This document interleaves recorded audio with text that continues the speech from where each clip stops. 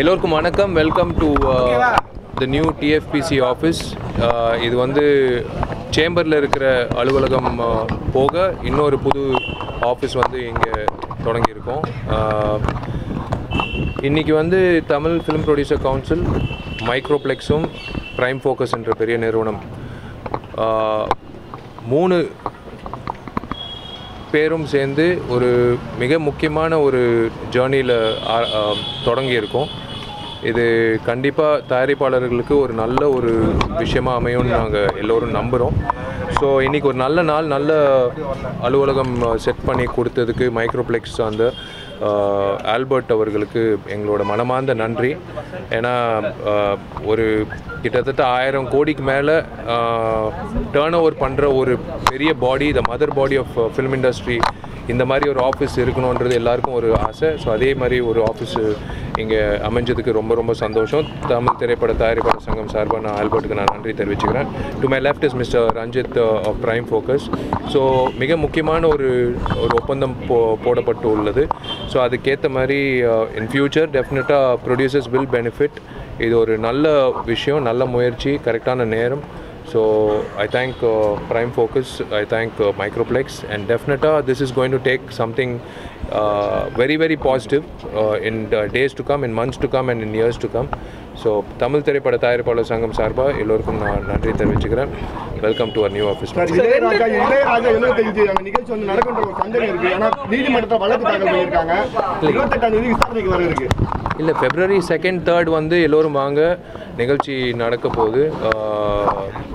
YMCA நந்தனத்தில் வந்து ரொம்ப நல்லபடியாக டிக்கெட் சேல்ஸ் போய்கிட்டு இருக்குது ஃபெப்ரவரி ரெண்டு மூ மூணு வந்து இளையராஜா சாருக்கான அந்த நிகழ்ச்சி நடத்துறதுல எங்களுக்கு ரொம்ப ரொம்ப பெருமை ரொம்ப ரொம்ப சந்தோஷம். தயாரிப்பாளர் சங்கம் சார்பாக ஏழு கோடி ரூபாய் வைப்பு நிதி வச்சதுக்கு அப்புறம் தான் நிகழ்ச்சி நடத்தணும்னு சொல்லிட்டு சதீஷ்குமார் வந்து வழக்கு தாக்கல் பண்ணிருக்காரு இல்லை அதுதான். அந்த அதுதான் அது வந்து கோர்ட்டில் இருக்கிற அதான் நாங்கள் நான் என்றைக்குமே கோர்ட்டை வந்து நான் தெய்வமாக நான் பார்க்குறேன் நீதிபதிகளை வந்து நான் தெய்வமாக பார்க்குறேன் கண்டிப்பாக டெஃபினட்டாக வந்து இதில் எந்த ஒரு முறைகேடோ இல்லை குறைபாடோ இல்லை. இது வந்து நேர்மையான ஒரு வகையில் வந்து ஒரு நிகழ்ச்சி நடத்த போகிறோம் ஸோ டெஃபினட்டாக இந்த மாதிரி தடைகள் கண்டிப்பாக எந்த வகையிலையும் எங்களை பாதிக்காதுன்னு நான்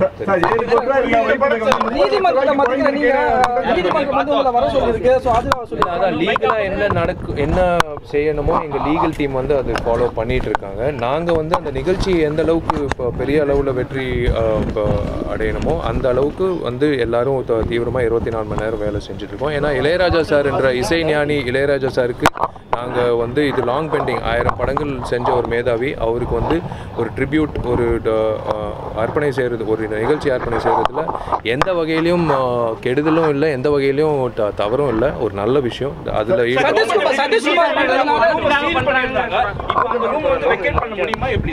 இல்லை அதான் அந்த அதுக்கான legal procedures is going on ஏன்னா அதே அதே டி நகர் ஆஃபீஸில் வந்து வேலைகள் போயிட்டு இருக்கு அந்த அந்த ஆஃபீஸும் இருக்குது இப்போ சேம்பர் ஆஃபீஸ் இருக்குது அது போக வந்து இந்த புது அலுவலகம் வந்து ஓப்பன் பண்ணியிருக்கோம். இதுக்கு கண்டிப்பாக பூட்டு எனக்கு தெரிஞ்சு போட முடியாது. ஏன்னா வேற சிஸ்டம் இருக்குது பயோமெட்ரிக் சிஸ்டம் நினைக்கிறேன். ஸோ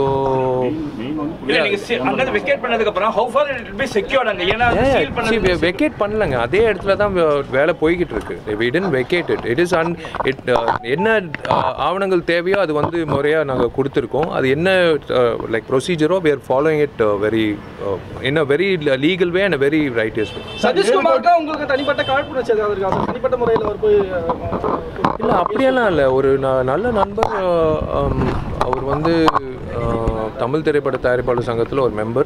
கே அதான் கே- அவங்க கேட்குற கேள்விகள் வந்து நேராக சங்கத்துக்கு வந்து கேட்டாங்கன்னா இவ்வளோ லீகல் எக்ஸ்பென்ஸு வந்து தே தேவையில்லை சேவ் பண்ணலாம். அதுக்கு அந்த செ அந்த செலவுக்கு வந்து ஒரு நல்ல டிக்கெட் வாங்கி ராஜா சார் ஷோ என்ஜாய் பண்ணலாம். பட் ஓகே ஒவ்வொருத்தருக்கும் ஒரு ஒரு முயற்சி ஒவ்வொருத்தருக்கும் ஒரு அப்ரோச் இருக்குது வி ஆர் ஆல்வேஸ் ட்ரூ அதே அலுவலகத்தில் தான் உட்காந்துருக்கோம் எப்போ வேணாலும் கணக்கு கே கேட்கும்போது நாங்களும் கு- கொடுத்து கொடுத்து எல்லாருக்கும் வந்து காட்டிகிட்டு இருக்கோம். எல்லா மெம்பர்ஸ்க்கும் வந்து அன்ஆடிட்டட் அக்கௌண்ட்ஸ் அதாவது ஏஜிஎம் பொதுக்குழு நடத்துறதுக்கான தேதியும் இந்த கூடிய சீக்கிரம் இப்போ அறிவி அறிவிக்க போகிறோம் அதுக்கேற்ற மாதிரி மார்ச் மூணாம் தேதின்ற தேதி வந்து முடிவு பண்ணியிருக்கு. அன்னைக்கு வந்து அக்கௌண்ட்ஸ் சமர்ப்பிக்கப்படும். ஆனால் எல்லா மெம்பர்ஸ்க்கும் இப்போ வரைக்கும் செலவு பண்ண அதான் எல்லாரும் சொல்கிறாங்க ஏழு கோடி முறைகேடு எப்படி என்ன- அந்த முறைகேடு இல்லாமல் என்ன எ- எந்தெந்த பிரிவில் என்ன செலவு கொடுக்கப்பட்டிருக்கு என்ன ப- பண்ணியிருக்கோன்றது எல்லா மெம்பர்ஸ்க்கும் அனுப்பியிருக்கோம் கடிதம் கோடி முப்பது லட்ச ரூபாய் குறைஞ்சிருக்குன்னு அவர் குற்றம் சுமத்திருக்காரு ஏழு கோடி ரூபாய் வைப்பு நிதி வந்து முப்பது லட்ச ரூபாய் குறைஞ்சிருக்கு.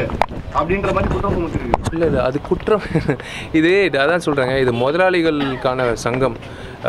எந்த சங்கத்தில் வேணாலும் வந்து பென்ஷன் கொடுக்குறோம் மருத்துவ உதவி கொடுக்குறோம் கல்வி உதவி கொடுக்குறோம் தைரியமாக சந்தோஷமாக நேர்மையாக எல்லா வகையிலையும் காலர் நிமித்தி நான் சொல்லலாம். ஆனால் தமிழ் திரைப்பட தயாரிப்பாளர் சங்கம் பொறு பொறுத்த வரைக்கும் நாங்கள் அது சொல்ல விருப்பப்படல.